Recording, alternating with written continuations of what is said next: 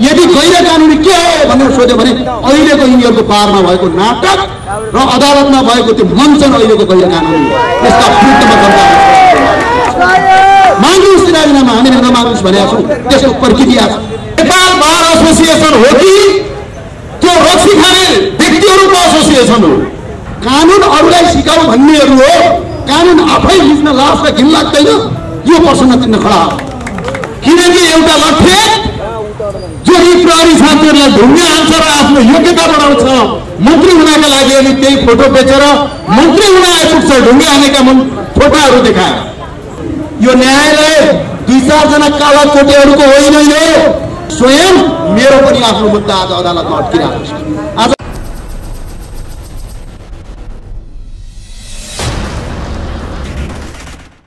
यो देशमा विधिको शासन रहेन। राज्य र जनता र नागरिकबाट आर्जित करबाट तलब खानेहरू आज विधामा बसेर न्यायालयलाई बन्धक बनाएका छन्। श्रीमानज्यूहरूलाई हाम्रो आग्रह छ नेपाली जनताको तर्फबाट तपाईँको प्रधान न्यायाधीशको राजीनामा माग्ने थलो न्यायालयलाई बन्धक बनाएर होइन। त्यो राजीनामा माग्ने निकाय दुईटा छन्। यदि तपाईँहरूलाई संविधान पनि थाहा छ नीति पनि थाहा छ श्रीमानहरूलाई त्यो नीति थाहा हुँदैन भन्ने कुरा छैन। तपाईँलाई दुईटा छन्। एउटा संवैधानिक परिषद, अर्को नेपालको संसद भवनबाट महाअभियोग लगाउनका लागि प्रस्ताव गर्नु।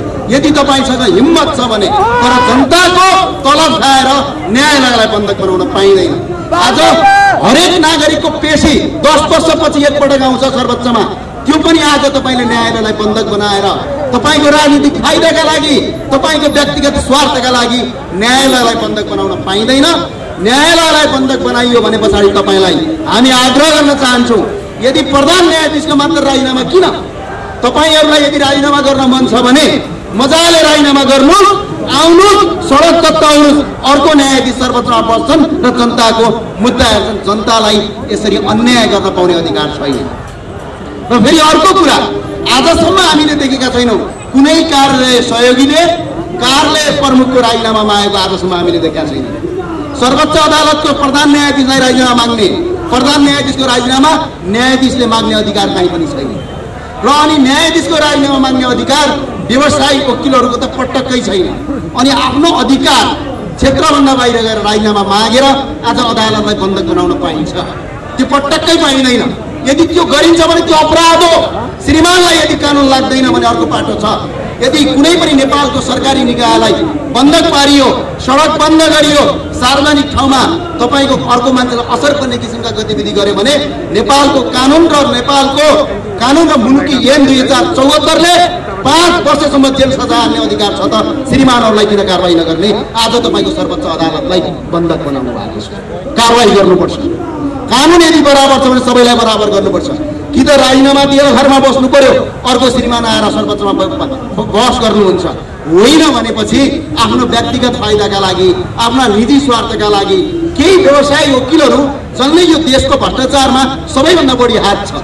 जसले यो मुलुकको यानसेल जस्तो मुद्दामा तपाईँको मुद्दा लडेर करोडौँ रुपियाँ कमाउनु भएको छ।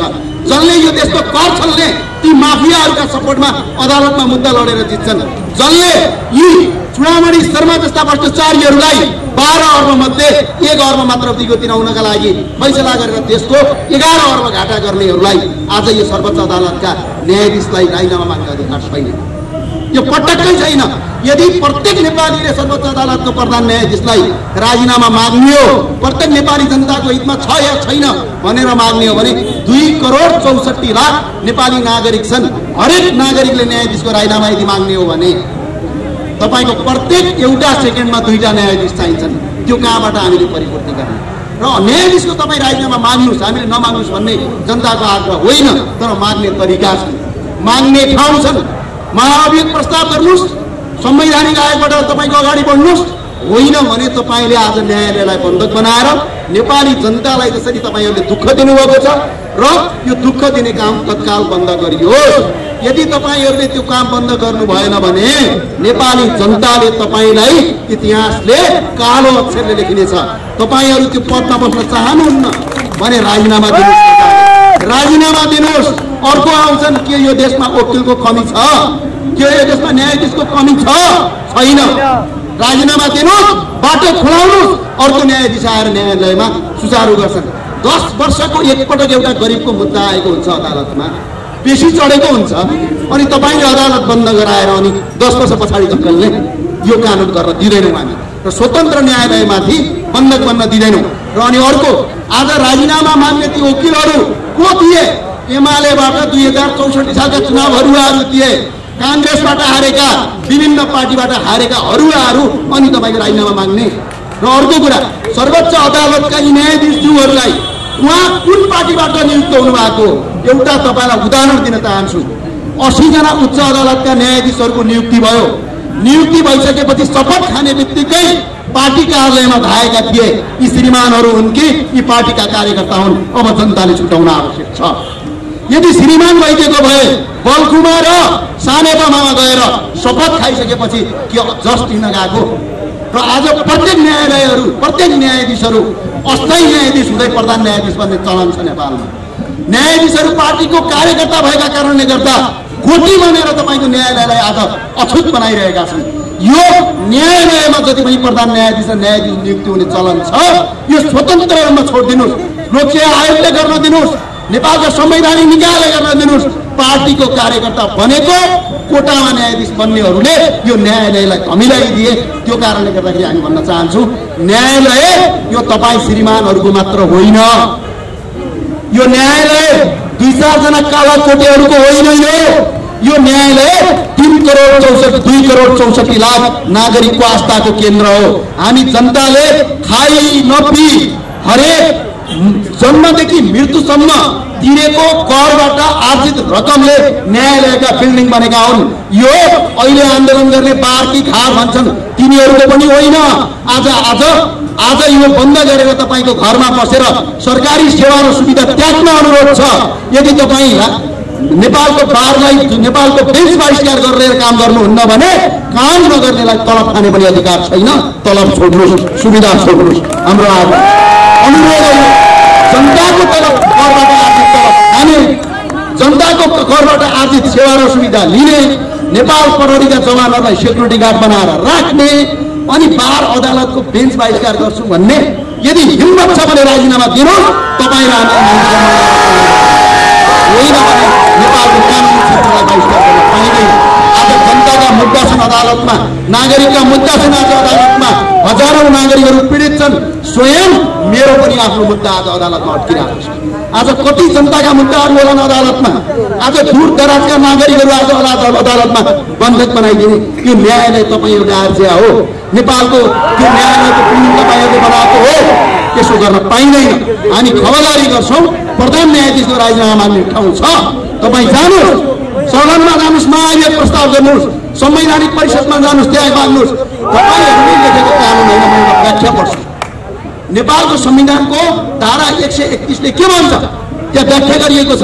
प्रधान न्यायाधीशको मृत्यु भएका खण्डमा प्रधान न्यायाधीशले स्वतः राजीनामा मागेका खण्डमा यदि प्रधान न्यायाधीशको संवैधानिक परिषदबाट उहाँलाई कारवाही गरेको ठहर भएमा यदि फौजदारी कसुरमा मुद्दा अदालतबाट भएर उहाँ अपराधी घोषित भएको ठहरमा पैँसठी वर्ष उमेर हदबन्दी कटेको ठहरमा र नेपालको संसद दुई तिहाईले महाअभियोग प्रस्ताव गरेमा मात्र नेपालको प्रधान न्यायाधीशको राजीनामा हुन्छ। अब कार्यालय सहयोगीले कार्यालय प्रमुखको राजीनामा माग्ने हो भने त नेपालका जति पनि कार्यालय प्रमुखका सहयोगीहरू हुन्छन् सबैले कार्यालय प्रमुखको राजीनामा माग्ने अनि अफिस बन्द गरेर जनतालाई सेवा ठप्प पार्ने। यो गैर कानुनी। यदि गैर कानुनी के हो भनेर सोध्यो भने अहिलेको यिनीहरूको पारमा भएको नाटक र अदालतमा भएको त्यो मञ्चन अहिलेको गैर कानुनी हो।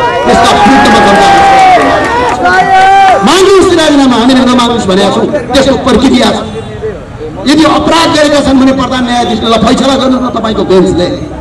फैसला गर्नुहोस् फौजदारी कसुरको ठहर हेर्नुहोस् जानुहोस् संसदमा तिहाईका साथ ल्याउनुहोस् अनि आज यसको नाक मन परेन यसको जुन्या मन परेन। प्रधान न्यायाधीश मुसुके हाँसेको दाँत मन परेन भनेर राजीनामा पाइन्छ। पाइन्छ। यही हो। र त्यसो भने म यहीँबाट राजीनामा माग्न चाहन्छु नेपाल प्रहरीको चिफ साहबको राजीनामा। हुन्छ। यहीँबाट हामी माग्न चाहन्छौँ। लोकसेवा आयोगको राजीनामा हुन्छ। यहीँबाट राजीनामा माग्न चाहन्छौँ हतियारको आयुक्तको हुन्छ। यो प्रक्रिया यो विधि छ। कानुन अरूलाई सिकाऊ भन्नेहरू हो। कानुन आफै लिच्न लाज र घिन लाग्दैन। यो प्रश्न चिन्ह खडा हो। अरूलाई कानुनी राज्यको वकालत गर्नेहरू। र अनि घिन लाग्छ कि लाग्दैन ठुल्ठुला टेलिभिजनमा गएर अनि त्यो पख्यान गर्न लाज लाग्दैन। जसले संविधानको उल्लङ्घन गरेका छन्। जसले आफैले आफैले लेखेको कानुनको उल्लङ्घन गरेको छ। कानुनी राज्यमा कानुन र विधिको शासन हुन्छ र कुनै पनि जनतालाई अदालत बन्धक बनाउने अधिकार छैन र सम्मानित अदालतका यहाँ वकिल साहबहरूलाई मेरो आग्रह छ यिनीहरूका विरुद्धमा अदालतमा जाहेरी हाल्नुहोस् किनकि सरकारी सुविधा लिने काम नगर्नेहरू सुविधा छोड्नुहोस् सुविधा छोड्नुहोस् आजैको आजै राइलो नगर्नुहोस् अर्को मान्छे आउँछ भोलि न्याय राइलो जनताका मुद्दा अट्किया अट्कै छन्। दूर दराजबाट मान्छे आएको छ आज अदालतमा मुद्दा छैन। अनि सरकारी काम रोक्ने। म उदाहरण दिन चाहन्छु नेपाल प्रहरीको एकजना प्रहरी प्रमुख जिल्ला प्रहरी प्रमुखले काम गरेन भने के हुन्छ? त्यो जिल्ला नै ठप्प हुन्छ। यदि सिडिओले काम गरेन भने के हुन्छ? जिल्ला ठप्प हुन्छ। अनि नेपालको एउटा मात्रै सर्वोच्च अदालत त्यो सर्वोच्च अदालतका न्यायाधीश श्रीमानहरू काम नगरेर अनि तपाईँको राजनीतिक फाइदाका लागि अनि तपाईँको सुविधा लिने सेवा लिने काम नगरेर बाधा अड्कन गर्ने यो अधिकार छैन। नेपालको कानुनले भन्छ यदि सरकारी काम कसैले रोक्छ भने त्यो अपराधी हो चाहे त्यो प्रधान न्यायाधीश होस् चाहे त्यो राष्ट्रपति होस् चाहे त्यो न्यायाधीश होस्। गर्नुपर्छ। त्यहाँ के? सबैलाई बराबरी हुनु पर्यो कसैलाई काखा र कसैलाई पाखा हुनु भएन। र त्यो कारणले गर्दाखेरि हाम्रो आग्रह छ न्यायालय पुऱ्याउनुहोस् न्यायालयलाई बन्धक नबनाउनुहोस् न्यायालय ती चार पाँचजना काला कोटेर दुई चारजना तपाईँको पार्टीका कार्यकर्ताबाट श्रीमान भएकाहरूको होइन। यो दुई करोड चौसठी लाख जन जनताको आस्थाको केन्द्र हो। आस्थाको केन्द्रलाई बन्धक बनाउन पाइँदैन। यदि बन्धक भयो भने यसरी बन्धक पटक पटक बनाइराख्नु भयो भने जनता रिसाउँछ सडकमा आउँछ। सडकमा आयो भने गद्दाफी हालत पनि हुन सक्छ। है जनतालाई कसैले रोक्न सक्दैन। हस् धन्यवाद। धन्यवाद। छ गर्दै गरेको तत्कालीन सञ्चार मन्त्री बाँसकोटा थरका व्यक्तिले हो कि होइन? त्यो थियो तर राजीनामा दिएपछि उनलाई पक्राउ गर्न हिँडिरहेका प्रहरीहरू जिल्ला परेर बस्नु पर्यो राजीनामा यस्तो षड्यन्त्र हो जहाँ राजीनामाको नाममा उसलाई हुन सक्ने सजायबाट सदाका लागि मुक्ति दिइन्छ। राजीनामा पहिला गरेपछि पूर्व पदको अनुसार प्राप्त हुने पेन्सनहरू अरू सुविधाहरू सवारीहरू सुरक्षाहरू त्यो जनतालाई ठग्ने अपराधीले प्राप्त गरिरहन्छ राजीनामा दियो भने। तर जब महाभियोग लाग्छ जब पदमा हुँदाकै अवस्थामा मुद्दा चल्छ पदमा हुँदाकै अवस्थामा कोही मान्छे पक्राउ पर्छ उसले पूर्व पद अनुसारको सुविधाहरू प्राप्त गर्न सक्दैन। नेपालमा किन कहिले पनि साँच्चै जनतालाई लुटिरहने अपराधीहरू नेताहरू मन्त्रीहरू पदमा रहँदाकै अवस्थामा प्रहरीबाट कहिले पक्राउ किन पर्दैनन्? विश्वका धेरै देशहरूमा तपाईँले देख्नुहुन्छ पदमा बहाल रहँदाकै अवस्थामा मन्त्रीहरूलाई प्रहरीहरूले पक्राउ गर्छन्। तर नेपालमा त्यस्तो हुँदैन किन? किनकि एउटा लट्ठे जो यी प्रहरी साथीहरूलाई ढुङ्गा हान्छ र आफ्नो योग्यता बढाउँछ मन्त्री हुनका लागि अनि त्यही फोटो बेचेर मन्त्री हुन आइपुग्छ ढुङ्गा हानेका फोटाहरू देखाएर। यस्ता लट्ठेहरू जहाँ मन्त्री हुन्छन्। तिनै लट्ठेहरूले हाम्रो प्रहरीहरूलाई परिचालन गर्छन् गृहमन्त्री बनेर। तिनीहरू नै हुन् मन्त्रालय चलाउनेहरू जो योग्यताका नाममा केवल गुन्डागर्दी भएकोहरू छैन। जसले जीवनमा स्कुल र कलेज पढ्दाखेरिको कोर्सको किताब बाहेक एउटा किताब किनेर पढेको छैन। ज्ञान कुरा सुन्दैन। अवश्य मात्रै खान्छ अपराध मात्रै गर्छ। धर्मशास्त्रले गर्न नहुने काम भने जति जे जे छन् तिनै तिनै काम गर्छ र त्यो नै नेता हुन्छ। त्यस्ताहरूले प्रहरी प्रशासन चलाउने व्यवस्था संसदीय व्यवस्था हो। संसदीय व्यवस्थाको अन्त्य नभएसम्म यो रहिरहन्छ अपराधीहरूको शासन कायम रहिरहन्छ। हामी चाहन्छौँ एउटा प्रहरीलाई सैनिकलाई सशस्त्रलाई न्यायाधीशलाई त्यस्ता लठेतहरू मन्त्री बनेर चलाउन नसकुन् उनीहरू कानुन बमोजिम चल्न सकुन्। उनीहरूको सरुवा भरुवा उनीहरूको वेतनको विकास केवल उनीहरूको मेरिटको आधारमा योग्यताको आधारमा क्षमताको आधारमा होस् र प्रधान न्यायाधीशसम्म पनि त्यसरी जिल्लाको न्यायाधीश बन्न सकोस्। हामी यो व्यवस्थाका लागि अर्थात् यस्तो साँच्चै जनताको व्यवस्थाका लागि संसदीय व्यवस्थाको अन्त्य गर्ने अभियानमा पनि छौँ। स्वतन्त्र राष्ट्रिय कानुन व्यवसायीहरू देश यसै गरीबाट अहिले यति बेला राजीनामाको षड्यन्त्रबाट व्यक्तिको नाममा सरकारी जमिन ल्याउनेहरू प्रधान न्यायाधीशको लाइनमा जो गइरहेका छन् पार्टीको तर्फबाट सोझै न्यायाधीशमा नियुक्त हुनेहरू जो छन् यस्ताहरूको विरुद्धमा पनि र बार नामको बार अङ्ग्रेजीमा अर्कै अर्थ हुन्छ। बसेर रक्सी खाने ठाउँ नेपाल बार एसोसिएसन हो कि? त्यो रक्सी खाने व्यक्तिहरूको एसोसिएसन हो। हामी सचेत मस्तिष्कका साथ हृदयतापूर्वक उहाँहरूलाई विनम्र अनुरोध गर्न चाहन्छौँ कि तपाईँ त्यो बार रक्सी खानेहरूको जमघट हुने बार नबनाउनुहोस्। तपाईँ साँच्चै जनताको बार बन्नुहोस् जनताका लागि न्याय दिने कर्ममा लाग्नुहोस्। केही व्यक्तिहरू जो यति वर्षदेखि हामीले वकालत गरिआएका छौँ र हामी अनुभवीहरू छौँ भनेर भनिरहेका छन्। हामी नयाँ पुस्ताका साथीहरूलाई सिकाउन खोजिरहेका छन्। जसको अध्ययनको सीमा जसको प्रमाणपत्रहरू साँच्चै खोजबिन गर्ने हो भने विदेशी विश्वविद्यालयबाट नक्कली प्रमाणपत्रहरू समेत ल्याएर अधिवक्ता वरिष्ठ अधिवक्ता बनेकाहरू हामी तपाईँहरूलाई विनम्रतापूर्वक हार्दिकतापूर्वक र सम्मानपूर्वक सम्झाउन चाहन्छौँ। तपाईँले माननीय हरिकृष्ण कार्कीज्यूले न्यायालयभित्रबाट हुने भ्रष्टाचारको बारेमा बिचौलियापनको बारेमा जो प्रतिवेदन प्रस्तुत गर्नुभयो त्यो प्रतिवेदनका आधारमा प्रधान न्यायाधीशले राजीनामा दिनुपर्छ भन्दै हुनुहुन्छ। त्यो प्रतिवेदनमा बार एसोसिएसनको नेतृत्व पनि बिचौलियाको काम गरिरहेको छ। भनिएको छ। हामी विनम्रतापूर्वक तपाईँहरूलाई पहिला बारको नेतृत्वबाट राजीनामा दिनुहुनका लागि अनुरोध गर्न चाहन्छौँ। हामीले जोरदार माग गर्न चाहन्छौँ कि पहिला बारको नेतृत्वले राजीनामा दिनुपर्छ। साथीहरू यहाँका लागि म जानकारी गराउन चाहन्छु। हामी चाहन्छौँ अहिले भर्खरै हामी सम्मानित सर्वोच्च अदालतभित्र यस पूर्व प्रस्तुत गरिएको ज्ञापन पत्र सहित आज नेपाल बार एसोसिएसनको केन्- केन्द्रीय नेतृत्व समक्ष ज्ञापन पत्र बुझाएर आइरहेका छन्। एसोसिएसनका अध्यक्ष चन्द्रेश्वर श्रेष्ठज्यू लगायतको ठुलो टोलीसँग हामीले बसेर कुरा गऱ्यौँ। यही मिडियाका साथीहरू हुनुहुन्छ उहाँहरूले रिकर्ड गर्नुभएको छ। कतिपयले लाइभ पनि गर्नुभयो। होला उहाँहरूले हामीले अहिले मैले जे भने कि बिचौलिया भनेको बारको नेतृत्व र त्यहाँका केही व्यक्तिहरू पनि हुन्। हरिकृष्ण कार्कीज्यूको प्रतिवेदनले त्यो भनेको छ भने तपाईँहरू राजीनामा किन दिनुहुन्न? राजीनामा तपाईँहरूले पनि दिनुपर्छ। किनकि यो पद भोट जितेर आउने पद हो जहाँ राजीनामा मागिन्छ। भोटमा जितेर आउने होइन। कानुन बमोजिम नियुक्त हुने पदहरूमा राजीनामा माग्न पाइन्न। विश्वको अभ्यास यो होइन। पदमा बसिरहेको अवस्थामा मुलुकको एउटा सभामुख जस्तो मान्छे मलाई बलात्कार भयो भनेर एकजना चेलीले फोन गरेर भन्नुभयो। अहिले तपाईँ हामी यहाँ उभिरहेका मान्छेहरूलाई नामै किटेर प्रहरी कार्यालयमा मलाई फलानाले बलात्कार गरिरहेको छ। आइदिनुहोस् भनेर भन्यो भने प्रहरीले तत्काल पक्राउ गर्छ तर सभामुखका लागि राजीनामा दिनलाई केही दिन कुरियो। उहाँले राजीनामा दिनुभयो सार्वजनिक रूपमा। र अब मलाई पक्राउ गरे हुन्छ भन्नुभयो। मलाई पक्राउ गरे हुन्छ भनेर विज्ञप्ति जारी गरेपछि मात्रै पक्राउ गर्नुपर्ने।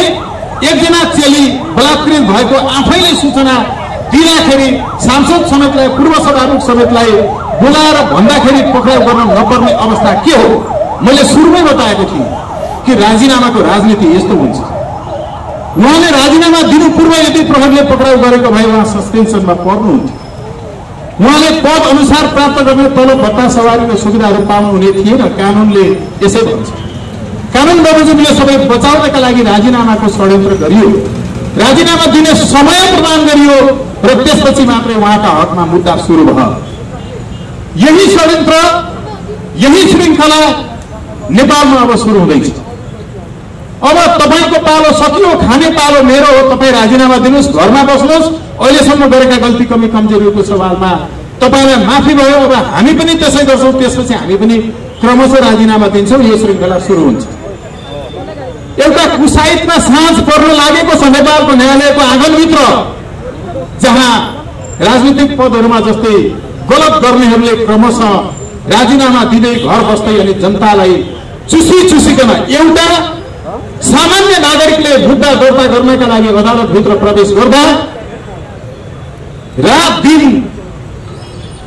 उमेरमै क्वालिटी परेका ओठहरू बोकेर चरचरी फुटेर रगत आइरहेका कुर्कुच्चाहरूले यो सडक तातो हिँडिरहेका एउटा सानो कुखुरा लगेर घरमा नखाइकन पनि बजारमा बेचेर नुन बुटुन जुटाउने ती गरिब नागरिकहरूले घुस नखुवाइकन अदालतमा मुद्दा दर्ता हुँदैन। घुस नखुवाइकन न्याय साँच्चै प्राप्त हुने फैसला मात्रै हुन्छ। र यो गर्न सहयोग गरिरहेका छन् वरिष्ठ भनेकाहरू दलका नेतृत्वहरू त्यसै गरी यो अवस्था छ। यो एउटै कारणले भएको छ कि राजनीतिक दलका आधारमा न्यायाधीश हुने गरिकन नियुक्ति र उनीहरूको प्रधान न्यायाधीशसम्मको बढुवा हुन्छ। यसका विरुद्ध तपाईँ हामी लाग्नु पर्दैन जनता उठ्नु पर्दैन। हामी भन्छौँ कि नागरिकहरूले सम्मानित सर्वोच्च अदालतभित्र पस्न पाउने हक छ। म विनम्रतापूर्वक प्रहरी साथीहरूलाई सुरक्षाकर्मी साथीहरूलाई निवेदन गर्छु ध्यानकर्षण गराउँछु। तपाईँ हामी जुन वर्गका मान्छेहरू हौँ। तपाईँ हामी श्रमजीवी जो तहका मान्छेहरू हौँ।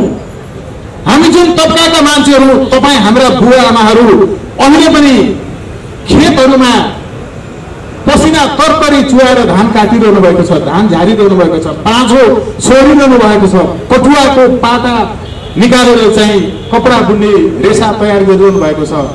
तपाईँ हामी सबै नागरिकहरूले एकपल्ट हामीले कर तिरेको रकमबाट कडा खडा भएको राज्य कोषबाट तलब खाने न्यायाधीशहरूले हामीलाई नै बिना कुनै कसुर समेत पक्राउ गरेर बन्दी बनाइरहेको ठुलो अवस्थामा राखिएकोमा त्यहाँ हाम्रा कुराहरू लिएर भन्न जाने हक हामीलाई छ कि छैन?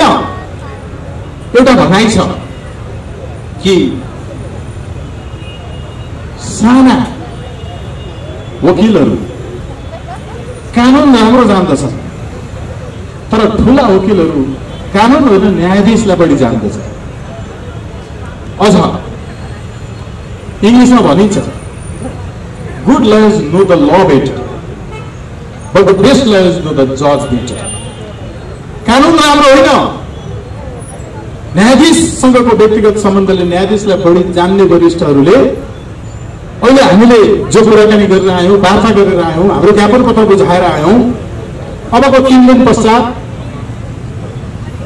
सर्वोच्च बार नेतृत्वले न्यायाधीशहरूलाई र वकिलहरूलाई सर्वोच्चमा छिर्न नदिने भनेर जो चेता चेतावनीयुक्त अभिव्यक्ति दिएको छ त्यो अभिव्यक्ति फिर्ता नलिएर हामी बार एसोसिएसनको केन्द्रीय कार्यालयको मूल गेटमा र भित्र अध्यक्ष बस्ने कोठामा तालाबन्दी गर्नेछौँ। हामीले यो चेतावनी पूर्ण रूपमा स्मरणपत्र बुझाएर औपचारिक रूपमा बुझाएर आएका छौँ।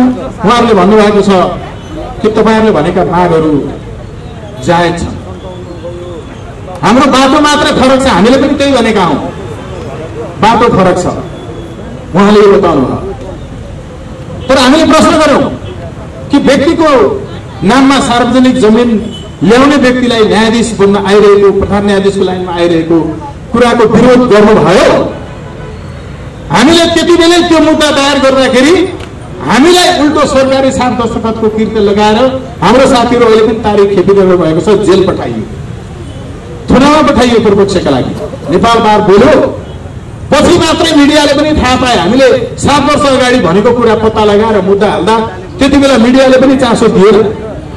पछि बालुतारको जमिन व्यक्तिको नाममा ल्याइएको विषय राष्ट्रिय चर्चाको विषय बन्यो बार बोलेन त्यो बेला।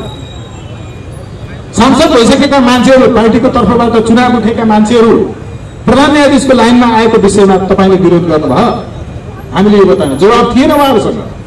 तर हामी विनम्रतापूर्वक हाम्रो बार एसोसिएसनको केन्द्रीय नेतृत्व मध्येको अध्यक्ष चन्देश्वर श्रेष्ठज्यूले जो बुझेर तपाईँहरूले भनेका कुराहरू ठिकै हुन्। प्रक्रिया तपाईँ र हाम्रो फरक मात्रै हो भन्नुभयो हामीले यो प्रत्युत्तरमा सम्झाएका कुराहरूप्रति उहाँहरूका चित्त बुझ्दा जवाबहरू थिएन। तर पनि सम्मान गर्छ उहाँले जवाब दिनुभयो र हामीले भनेका कुराहरू ठिक छन् भन्नुभयो मैले सुरुमै बताएको थिएँ राजीनामाको षड्यन्त्र अदालतभित्र सफल हुन दिनुहुन्न त्यसलाई विफल बनाउनुपर्छ त्यसका विरुद्ध अघि जोडेको प्रसङ्ग के भने नागरिक तपाईँ हामी सम्मानित सर्वोच्च अदालतभित्र ज जसका मुद्दाहरू छन् आफ्नो मुद्दाको आफ्नो तारिकको तपाईँलाई अदालतले जारी गरेको जो प्रति छ त्यो प्रतिको प्रतिनिधि बोकेर अर्जिनललाई बोकेर तपाईँ नागरिकहरू सम्मानित सर्वोच्च अदालतभित्र प्रवेश गर्नका लागि आउनुहोला। त्यो बार एसोसिएसनभित्र प्रवेश गर्नका लागि आउनुहोला। हामीलाई अदालतले यो दिन तपाईँ उपस्थित हुनुहोस् भनेर त्यो पर्चा दिएको त्यो पर्चा देखाएपछि कुनै पनि प्रहरी वा सर्वोच्चको प्रशासनले समेत त्यसलाई रोक्न दिँदैन।